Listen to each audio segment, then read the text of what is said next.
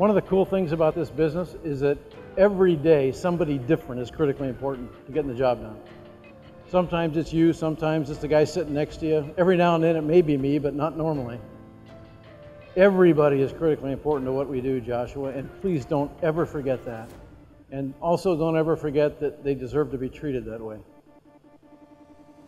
You, him, her, everybody deserves to be treated that way. Don't ever forget that. I don't care if you're Chief of Staff of the Air Force someday, or Chief Master Sergeant of the Air Force one day, or President of the United States. You can do what you want, Joshua. You just got to work for it. Don't ever forget how important you are to what we do. Folks, I, this is the source of pride for our Air Force. We have always recruited the best people we can, and we've done a pretty good job of it. We've always trained them and educated them better than anybody else trains and educates airmen.